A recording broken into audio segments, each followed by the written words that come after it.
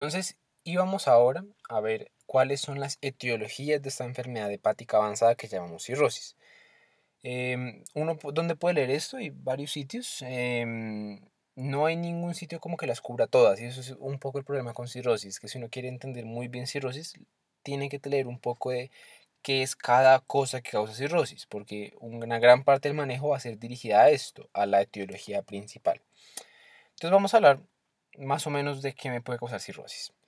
Las etiologías yo las puedo agrupar en cuatro grandes grupos. Uno, lo que se llama esteatosis, esto es un término de acumulación de grasa, em, la que genera la cirrosis cuando esta grasa se inflama, que eso llamamos eh, esteatohepatitis. Eh, pero pues esteatosis es como el término general. Dos, causas infecciosas.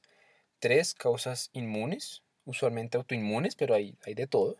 Em, y cuatro causas genéticas. Entonces, en causas eh, de esteatosis, de acumulación de grasa, tenemos el hígado graso alcohólico eh, y el hígado graso no alcohólico. El primero pues se, relaciona obviamente al consumo de alcohol, el segundo se, se, relaciona más a hábitos malos de, de vida, eh, un sedentarismo, dieta irregular, etc.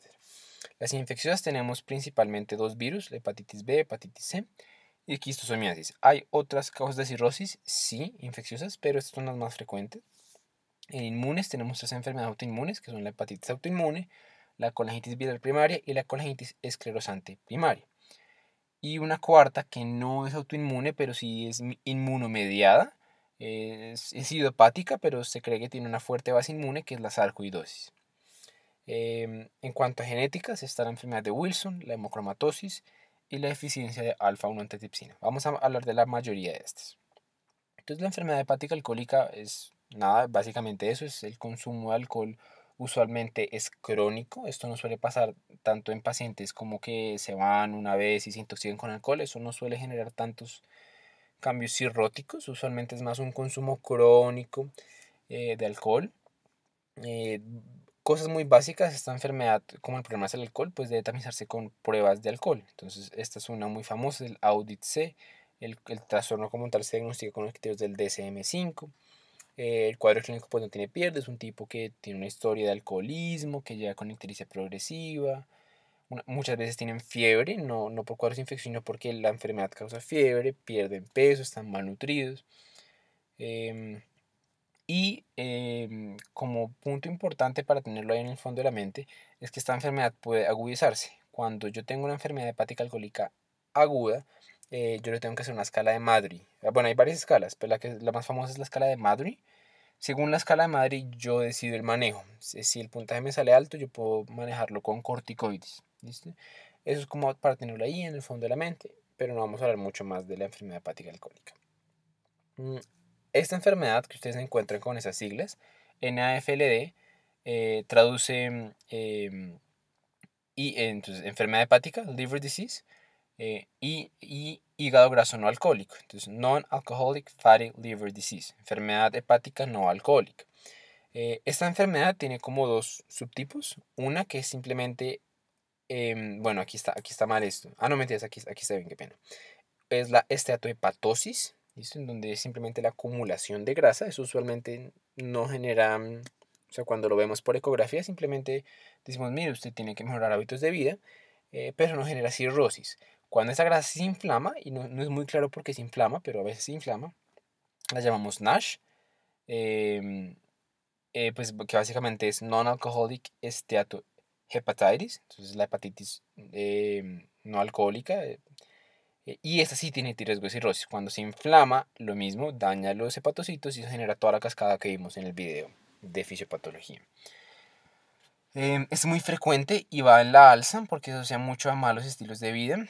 Em, y básicamente lo que más la manejamos es eso, el estilo de vida. Hay antidiabéticos, la metformina está en estudio para esto, pero todavía no las guías pues no lo adoptan ni nada por el estilo. Ahora van las hepatobiliares, que son las enfermedades autoinmunes que pueden generar cirrosis. Y estas las voy a poner una al lado de la otra para que ustedes las, las puedan comparar. Entonces, primero tenemos la hepatitis autoinmune. Eh, esta es una enfermedad predominantemente de mujeres que se caracteriza por mujeres que llegan con un patrón hepatocelular. Usualmente no tienen síntomas, sino que ellas llegan y tienen una elevación de transaminasas. Eh, pueden tener una que otra manifestación, que más tarde vamos a ver en el video de presentación clínica cuáles son, pero la mayoría de veces simplemente que tienen transaminasas elevadas. Eh, en la colangitis biliar primaria eh, presentan un poco diferente. Entonces, uno, sí son mujeres, o sea, siguen siendo mujeres, la mayoría, pero ellas llegan más con un cuadro de colestasis. Entonces, tienen una acumulación de fosfatasa alcalina, de GGT, esa hiperbilirrubinemia secundaria también eh, genera prurito, el, prurito del, del, prurito del se, se le dice. Em, ese prurito de la enfermedad hepática se caracteriza por ser más nocturno eh, y por ser de predominio en palmas y plantas. Es como el prurito de las enfermedades hepáticas, es, por eso se caracteriza. Y suelen tener hipercolesterolemia asociada. En la colangitis esclerosante primaria es una de las pocas enfermedades inmunomediadas en donde es más frecuente en los hombres. Em, la mitad de ellos van a ser completamente sintomáticos y simplemente van a llegar lo mismo con una elevación de fosfatasa alcalina y de GGT. Bien. Ahora, cada uno tiene sus criterios diagnósticos. Eh, en la hepatitis autoinmune, los criterios diagnósticos eh, hay dos como grandes, eh, son los de RDC del 1999 y los de la SDC del 2008 en lo que se basan es básicamente en estas pruebas. Entonces, eh, uno, uno pide unos, unos niveles de inmunoglobulina G. Estos se encuentran elevados en el 85% de los casos.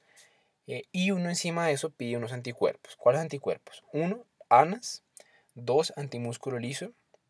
Tres, anti-LKMT1 y LKMT3. LKMT significa liver, kidney, eh, se me escapa la M, eh, y la, bueno, pero es liver, kidney y mm, la verdad no, no, recuerdo muy bien el M y el T. Eh, o el anticitosol hepático. Entonces uno va a pedir estos, dependiendo de cuáles son los que están elevados, uno va a clasificar como tipo 1 o tipo 2. Usualmente a estos pacientes se les, se les, pide biopsia porque la biopsia, eh, uno, ayuda a confirmar el diagnóstico y dos, estadifica para el manejo. Bien, pero eso, son, es como la parte de la hepatitis autoinmune. Uno pide unos sanas, unos antimúsculo liso, anti... No, no puedo creer que, no me acuerdo. Eh, bueno, liver, kidney y otras dos cosas. Uno y tres. Eh, y ya. La colangitis biliar primaria no tiene como tal criterios diagnósticos. Em, usualmente uno se basa en anticuerpos antimitocondriales. Esto es como la gran diferencia. Esto es pregunta de varios pacientes de residencia. Que antimusculo liso es más de hepatitis autoinmune, mientras que antimitocondrial es más de colangitis biliar primaria. Hay otros anticuerpos asociados, pero estos usualmente no suelen pedir. Y si se llega a hacer biopsia, que en este caso no suele ser tan obligatoria, uno observa colangitis destructiva. En cuanto a la colangitis esclerosante primaria, no tenemos todavía ningún anticuerpo identificado, entonces ustedes no van a encontrarlo aquí. Eh, pero no básicamente lo que hace es, uno, encontrar el patrón colestásico crónico, eh, evidenciar en, una colangiografía, que es un buen estudio para evidenciar el árbol biliar, eh, la presencia de estructuras es que uno observa que el árbol biliar en vez de ser así, va a tener sitios donde se angosta y vuelve a dilatarse. Esto es característico, muchas veces le dicen como en forma de rosario, porque en estos sitios hay eh, esclerosis, por eso es la parte esclerosante. Entonces uno observa eso, estructuras en, col en colangiografía, y que uno le, le, descarte otras causas frecuentes como trauma, cáncer, VIH. Bien. En cuanto al tratamiento, eh, la, mayoría de, bueno, la hepatitis autoinmune, nosotros eh, solemos tener un periodo de inducción que es más o menos de 2 a 4 semanas con corticoides, ellos, ellos saben con pulsos de prednisolona eh, y después los pasamos a mantenimiento. En mantenimiento les ponemos atropina, que es un antimetabolito, de mercaptopurina em, y le vamos bajando progresivamente la dosis del corticoide. Si no funciona con este manejo, lo pasamos a micofenolato, eh, que em, funciona también, eh, o sea, ambos son inmunosupresores, porque pues es una enfermedad autoinmune, pero funciona un poquito diferente el micofenolato. En la colangitis biliar primaria no solemos usar eh, inmunosupresores, aunque sí tiene una base autoinmune, lo que nosotros usamos es eh, un ácido biliar, que es el ácido urso, urso deoxicólico, o el UTCA. Eh, ¿Qué es lo que sucede? En la colangitis biliar primaria, lo que se acumula es, la, bueno, lo, que se está acumulando son ácidos biliares. Los ácidos biliares, la gran mayoría de ellos son citotóxicos. Entonces, ellos al acumularse, imagínense que nosotros, voy a borrar esto un segundo para tener espacio. Imagínense que nosotros tenemos aquí el hígado y aquí está la vía biliar.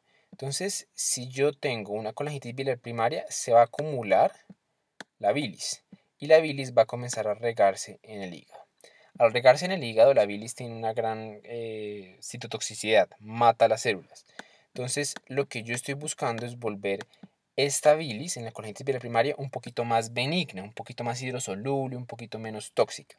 Eso es lo que hace el ácido urso deoxicólico. Es un ácido biliar que se mete en toda la mezcla de ácidos biliares y los vuelve un poquito más hidrofílicos. Em, el ácido obeticólico funciona de una manera diferente, él, altera la síntesis de los ácidos em, biliares, pero llega al mismo punto, y es que vuelve la mezcla de ácidos biliares un poquito más favorable, no tan citotóxica. Eh, para el prurito, ustedes van a ver que, porque esto, esta gente le da bastante prurito, que se les pone colestiramina. Mm, ahora, la colonitis esclerosante primaria, nosotros no hay una terapia médica efectiva como tal, pero usualmente se hacen ensayos terapéuticos con el ácido ursodeoxicólico buscando como la misma idea, y es de volver un poco más benigna la mezcla, pero no hay evidencia que esto mejore desenlaces fuertes en la enfermedad. Listo. Pasando un poquito más a enfermedades genéticas, tenemos la enfermedad de Wilson. La enfermedad de Wilson es una alteración en el metabolismo del cobre. Lo que se muta es un gen que se llama el gen ATPB7. Eh, este gen ATPB7 se encarga de sintetizar una proteína llamada ceruloplasmina. La ceruloplasmina es la proteína que se encarga de llevar en la sangre al cobre. Ella es la proteína que la lleva por la sangre para que pueda ir a todos los tejidos. Pero también este gen ATPB7 se encarga de sintetizar la proteína que excreta el cobre en la bilis. ¿Cuál es el resultado de esto? Que el cobre yo lo voy a tener aquí en las células eh, pero él no va a ser capaz, uno, de salir a la sangre, ¿sí? Porque no tengo la proteína que lo transporta, eh, y dos, no va a poder salir a la bilis, no se va a poder excretar, entonces se va a acumular a nivel celular. Eventualmente se derrama en la sangre, va a los demás tejidos y se sigue acumulando ahí, dañando las células. Mm, en el primer órgano que se suele acumular es en el hígado, por eso queda cirrosis. Em, pero también se puede acumular a nivel cerebral, a nivel del sistema nervioso central, causando síntomas neuropsiquiátricos, distonía, temblor, bipolaridad. Se puede acumular a nivel de la retina em, y a nivel, de, pues a nivel ocular en general. Esto va a causar unas cosas que se llaman los anillos de Kaiser-Fleischer. Entonces nosotros tenemos, entonces nosotros tenemos aquí el ojo, aquí se ve las estructuras y si ustedes observan aquí lo que muestran es la progresión de los anillos de Kaiser-Fleischer. El cobre se comienza a depositar en la periferia de la estructura generando literalmente un anillo color cobre. Ese se llama el anillo de Kaiser-Fleischer. ¿Listo? Eh, es muy sugestivo, aunque no es completamente específico, o sea, no es patognomónico, pero es muy, muy, muy sugestivo de la enfermedad de Wilson. Eh, también se puede acumular a nivel del corazón, generando, cardiomiopatía, usualmente restrictivo. Osteoartritis, acumula el cobre en las articulaciones, en el riñón, enfermedad renal crónica, en las paratiroides y en el páncreas. Bien, pero la cirrosis es la manera en la que suelen presentar. Eh, yo a estos pacientes, ¿cómo les voy a diagnosticar? Les voy a pedir un nivel de ceruloplasmina, un cobre sérico total y libre y un cobre urinario en 24 horas. Cuando confirmo el diagnóstico, sí, si se quiere confirmar el diagnóstico, pues hay que medir, eh, hay que hacer estudios genéticos, pero usualmente con esto se suele bastar. Eh, y para el tratamiento yo voy a utilizar em, penicilamina, que funciona como un quelante del cobre, o trientino. El trientino es un poquito más favorable en este caso. Las sales de zinc lo que previenen es la absorción de cobre. Entonces también se pueden usar como manera adyuvante. Hemocromatosis es la otra enfermedad genética de la que vamos a hablar, eh, esta lo que se caracteriza es por una acumulación ya no de cobre, sino de hierro. Em, hay varios tipos de hemocromatosis con varios patrones de herencia, pero usualmente van a girar todos en torno a la función de esta proteína que se llama la efestina. Eh, si uno recuerda, mm, bueno, dejémoslo así, si, uno recuerda, em, en la fisiopatología del, del, metabolismo del hierro, nosotros tenemos que el hierro nosotros lo consumimos por la dieta, él entra a los enterocitos y los enterocitos sale a la sangre. ¿Listo? Ahora, para salir a la sangre está regulado por una, por una serie de proteínas, principalmente la ferroportina. La ferroportina es la que lo saca. Em, y hay una proteína que inhibe esa salida. ¿Listo? Eh, la proteína que inhibe esa salida suele ser la efestina. Bien. Entonces, cuando yo tengo mutaciones en esta proteína, tengo alteraciones en cómo está manejando y cómo se concentra el hierro a nivel intracelular y en la sangre. Entonces se comienza a aumentar el hierro. Eh, si yo aumento mucho el hierro a nivel sanguíneo, voy a aumentar la saturación de transferrina. Y al aumentar la saturación de transferrina, eso me va a servir como un buen tamizaje. Em, estos pacientes usualmente, como toma un tiempo que se acumule el hierro, no suelen ser sintomáticos en sus primeros años de vida eh, y comienzan a, a medida que pasan los años, a acumular el hierro en la piel.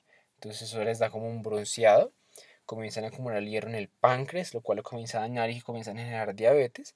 Comienzan a acumular el hierro en el corazón, les da cardiomiopatía restrictiva. Y en el hígado causando cirrosis. Eh, cuando uno ve el hígado de estos pacientes en resonancia se ve completamente negro precisamente por todo el hígado. ¿Listo? Eh, perdonen, ahorita cometí un error. Eh, el, que, no lo permite sacar, el, hierro, el que va contra en, contra de la regulación de la salida del hierro, no es la efestina, es la epsidina. El gen como tras la efestina. Pero la proteína que inhibe la salida es la epsidina. Esto como para corregirme ahorita. Eh, la última enfermedad genética que puede causar cirrosis es la deficiencia de alfa-1-antitripsina. La alfa-1-antitripsina es una antielastasa, eh, inhibe, proteínas que degradan básicamente la elastina. La elastina es una eh, proteína que le da la estructura a, varias a varios órganos, principalmente el pulmón y el, hígado. el gen que se muta usualmente es el gen de la serpina 1 y lo que yo voy a ver es el resultado de la destrucción no controlada de estos órganos. Entonces, recordemos que yo tengo mi tejido, imagínense que mi tejido está aquí lleno de elastina, hay una proteína que la degrada, que esta es la elastasa. Entonces, esta proteína degrada a, a, la, a todo mi tejido conectivo. Cuando yo tengo alfa 1 antitripsina presente, ella va a inhibir a esta elastasa. Entonces el tejido queda bien. Pero si yo tengo eficiencia, no hay nada que lo inhiba, entonces esta actúa y destruye el tejido. Lo que me va a generar esto es enfisema y cirrosis, básicamente. En ocasiones yo puedo observar inflamación em, dactilar, o observo paniculitis, pero lo más frecuente es solo cirrosis y enfisema en un paciente joven. Ese es, el cuadro clínico típico. Eh, para diagnosticarlo, yo voy a medir niveles séricos de alfa-1 antitipsina, y el tratamiento es eh, pues de soporte usuales, que lo vamos a ver más adelante, y se puede dar de manera parenteral eh, alfa-1 antitripsina. Pero eso no, no siempre funciona muy bien. ¿Listo?